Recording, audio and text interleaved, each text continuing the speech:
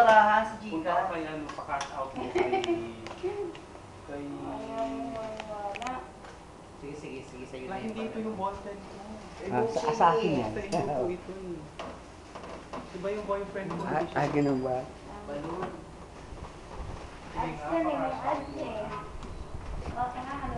Wala yun. Ring. Isang ballpen ko ako na binibigay na.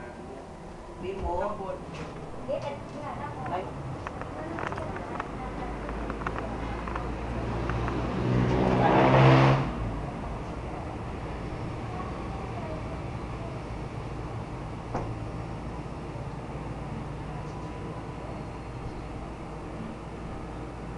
So, dito po natin ilalagay yung ating pong outdoor unit. Ito po yun. Po siya.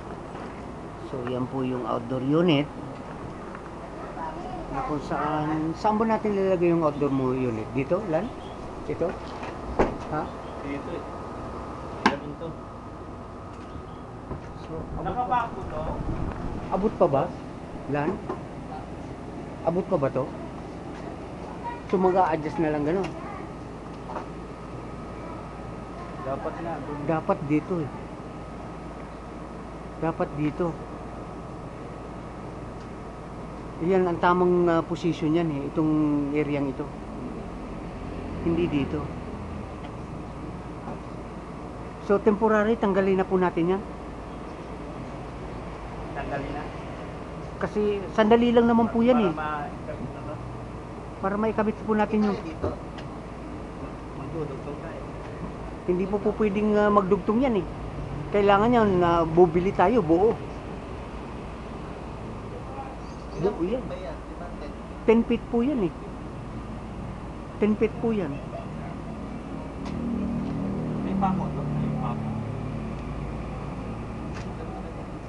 So kahit dyan mo ilagay yan lan, mag adjust ka pa rin dyan sa taas eh.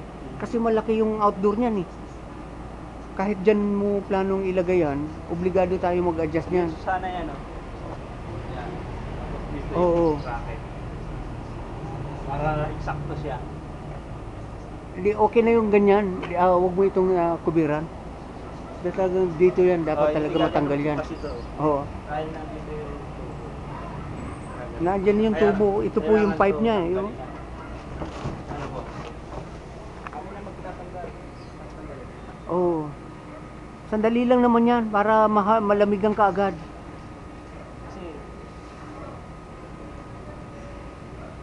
Mahal po yung isang 100 pip- ang buwan yan, tip niya.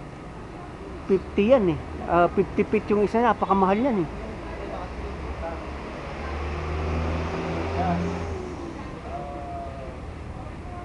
Plywood lang po ang kailangan natin dyan sa butas na yan eh.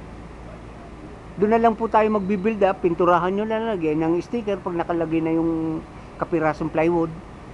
Lagyan na lang ng sticker para mas maganda.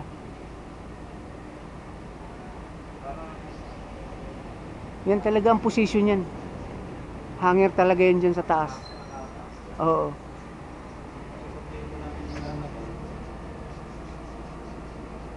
Pag dyan mo inilagay, mag-a-adjust ka pa rin pataas eh. Maayos dito. Tanggalin na lang pala na. Tanggalin na lang muna yan. Makapwisto. oh. Tsaka pag nakakabit po yan, hindi mo na naman talaga kailangan yan eh. So, kailangan may, kung magka meron ka na lang po ng ganito kalaking plywood, ah, doon, no? Para ilagay sa, so yun, simento rin. Pero pag pagsamantala. Temporarily. oh. Hindi, darating, parating ko po yung number. Para tuloy ko yung uh, Wapi, baka meet niya ako. Ayan po, ah, dito po ilalagay yung inverter. Ah, yung ating, ah, ayan, ayan, yung ah, ating outdoor.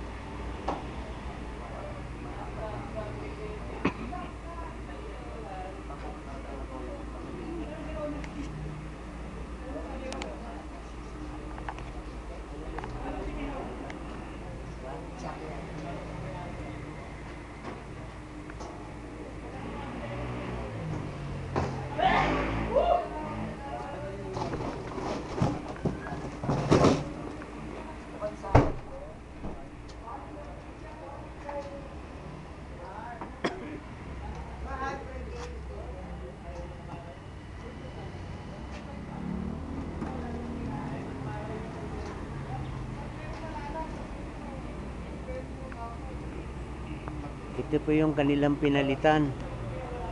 Ah, window type. So, so papalitan po natin ito ng Ox brand. So, yan po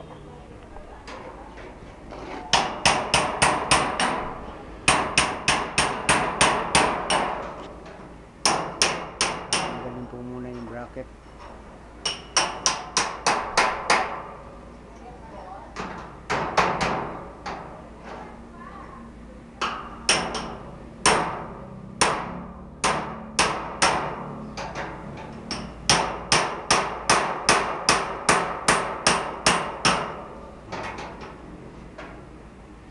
Ayan. Ayan po yung advantage nito. Ah. so,